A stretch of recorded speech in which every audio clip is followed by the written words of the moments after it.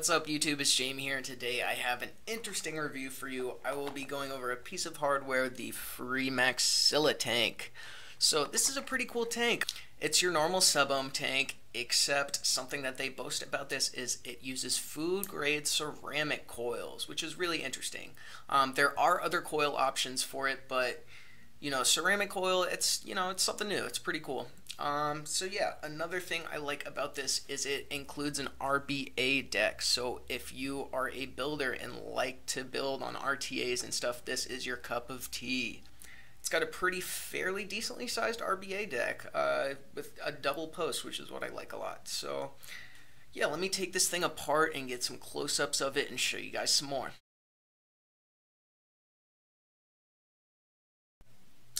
Alright, so first off, I will be just unboxing this and showing you everything that comes inside. So yeah, here is your Freemax Scylla box. Um, pretty simple, you know, what you'd expect. Now you got your contents over here. You know, it comes with the tank replacement coil, replacement tubes, O-rings, user manual, all that stuff. You got your scratch and check over here. So yeah, let's pop this thing open. Alright, so here's your first look at the Scylla tank. I'm just going to put this over to the side right now. You will obviously see more of it later. I'm just unboxing right now. So what else we got in the box? We got O-rings, you know, pretty self-explanatory.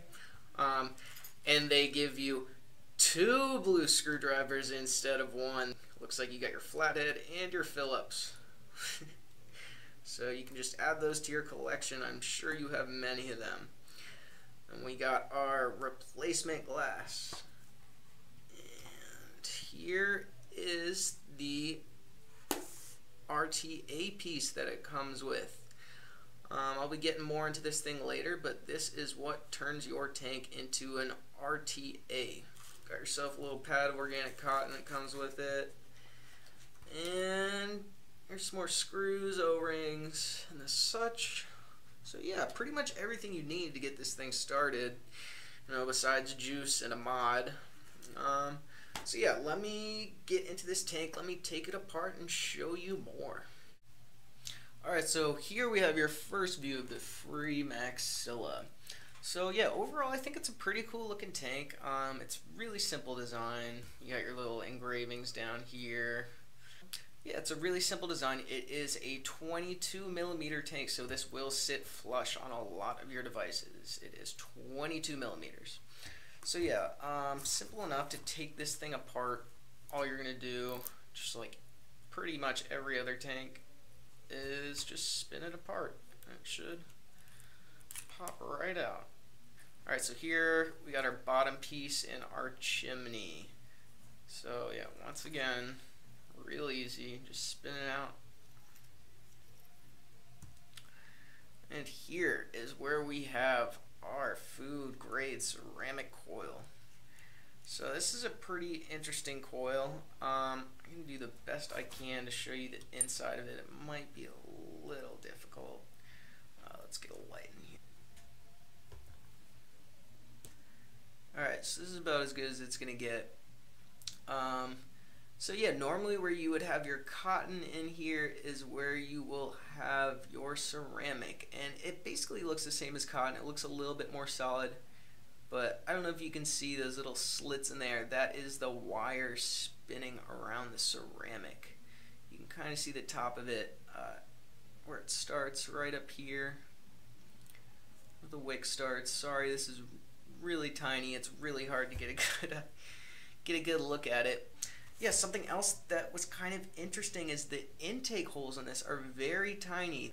And yeah, another thing cool about this coil is the wattage difference you can take this thing to. It says it is rated from 20 watts to 160. So yeah, it's a pretty, it's a pretty big difference in temperatures you could have there. They claim it has a cleaner flavor, it has a much longer durability, it lasts three to five times longer than a regular coil, and it wicks very fast. So, yeah, kind of interesting. Alright, so next up, the airflow ring on this thing. The airflow is, you know, they did an extremely well job with this airflow. There is more air than I need on this thing. So yeah, really simple, just your little ring clicks into place. I believe there's eight different uh, different settings you can have it, eight different little clickies. So yeah, when it's opened all the way up, it is a really, really airy draw. This thing, you can pull a lot of air through it. I'm talking a lot. I never have this thing fully open. Most of the times, at the most, it'll be halfway open for me.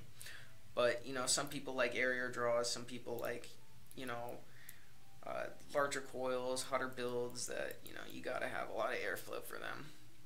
So yeah, the airflows are 12 mils by 3 mils, I believe, and it goes through 8 positions. So yeah, really cool. Uh, let me put this thing back together and I will show you how to fill it. Alright, so this is a top fill device. The Scylla is a top fill and it is very easy.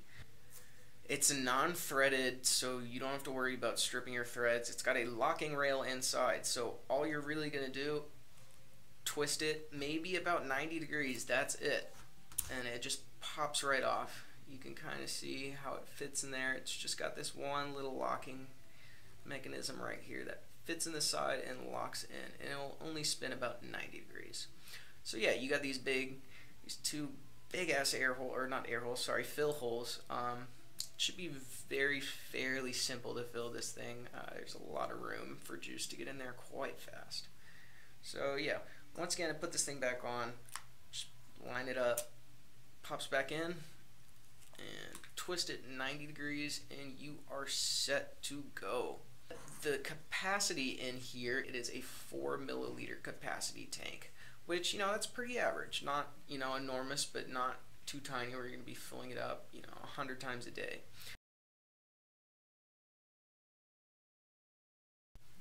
Alright, so now I will be showing you the RTA deck this thing comes with It kind of looks like the uh, sub-tank RBA deck that it comes with, except you got two holes on here this time. So let's pop this thing open and I'll give you a closer look.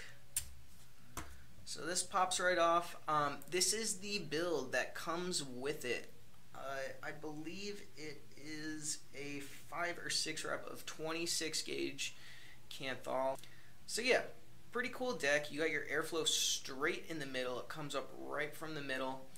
And then these little posts right here, you can do single coil builds on it. You can see there's two little parts to this post. You can take this top part off just to have a single coil in there. But then you are going to have to block off one of these holes if you're doing a single, um, which really isn't that hard at all.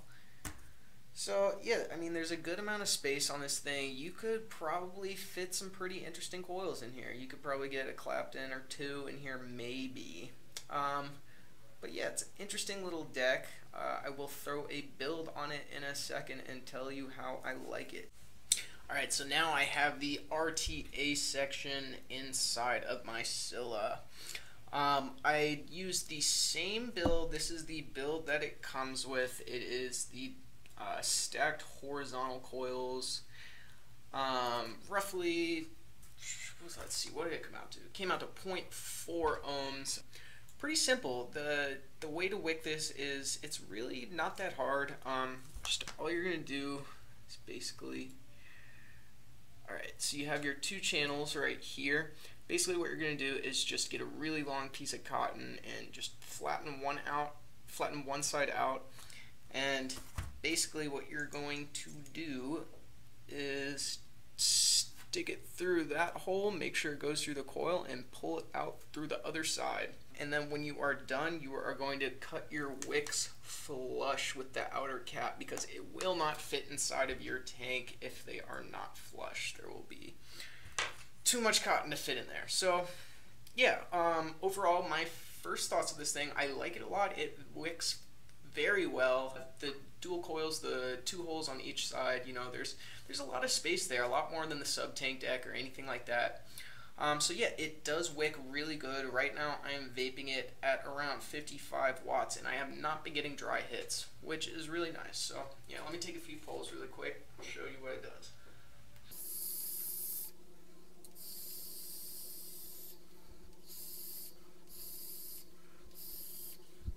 So yeah, this thing, it vapes really well. Um, I didn't get a single dry hit. It wicks really nicely if you if you do it right. You just gotta, you know, keep your cotton flush to the sides and just, you know, make sure it's not all bunched up in there. Make sure you're not using too much cotton because you will get dry hits if you are using too much. So, yeah, overall, I like this thing a lot. I can chain vape this RTA, or chain vape this tank in RTA mode you just really you just really got to wick it right. Which I mean, it's the same with every single RTA tank. I've been getting really into RTAs recently, and um, you know, I'm I'm starting to dig this one. I like it a lot. It's it's really nice. The airflow is super wide open on here. You know, I have it about halfway. That's more than enough for me. That's plenty good. But you know, if you're using a bigger build or something, and you needed some more airflow to you know dial down the heat, and I mean, go for it. You got plenty of room yeah, so that's it for the RTA section. I'm going to be throwing the ceramic coil in here and telling you what I think about it now.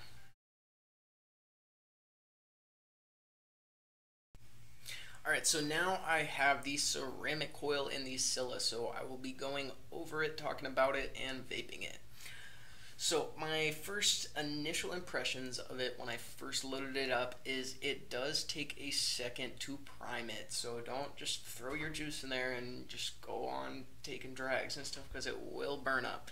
But yeah, um, I thought the flavor was pretty good. Um, it tastes really clean. You don't get any of that, you know, cottony taste, the new cotton taste that you get from uh, some of the other coils. But yeah, I thought it was decent. Uh, it's rated at 20 to 160 watts, but I didn't feel like I started getting any sort of, you know, satiable vape until about 35 watts. I took it up to about 100. I did start to get a little bit of burnt notes, like right over 100. But, um, yeah, nonetheless, you could definitely use it for high wattage. This thing has a lot of airflow in it. Um, and the ceramic coils, you know, it's it's not necessarily a new thing. There have been ceramic coils in the past, but to put them into sub-ohm tanks, that's a new thing. So, yeah, overall the ceramic coil, um, it works the same as any other sub-coil, except I think it tastes a little bit cleaner at first when you're vaping out of it. I have not had the longevity tested in it yet. I will be back with an update to tell you about this, but um, I haven't vaped it for you know, long enough to, you know, support their claim that it lasts three to five times longer than other coils. But yeah, first impressions, very tasty, uh, very clean tasting. Uh, it just you just might need a little bit more power than they say. So yeah. All right. So overall, I really like this tank. The RTA function on it is awesome. Even the sub ohm coils that come with it are very good. You know, if you're too lazy to throw a build in the RTA, then you know just toss a sub ohm coil and you're good to go. The flavor is very good. The airflow is you know tremendous. There's a lot of airflow to this tank, which I like a lot. It's also really cool. There's a couple other options on there that I think are you know really nice to have. Like the uh, the drip tip is insulated. It will not will not get hot, and also the top fill is very nice. It's very easy to use. You know, you don't have giant threads on it that you could, you know, mess up. It's really easy to take it on and off. It's just literally, you know, pop, 90 degree turn, stays on. Um, this is probably one of the easiest tanks to fill that I have used. So that is definitely a plus. Overall, I like this thing a lot. It's a really good device to use if you, you know, if you just want a sub-ohm tank and you're thinking about getting into RTAs, this might be one to scoop up. It's really, you know, it's the best of both worlds for sure. So yeah, I will leave a link down in the description down below to pick this thing up from Max Vaping. Um, they have pretty much all the options uh, for this device. They have the claptons, the ceramics. So yeah, pretty good device. I like it a lot. I'm gonna give this an eight and a half out of ten. It is very versatile. It's very easy to use. Very easy to build on. You know, it's just a really good overall piece of hardware.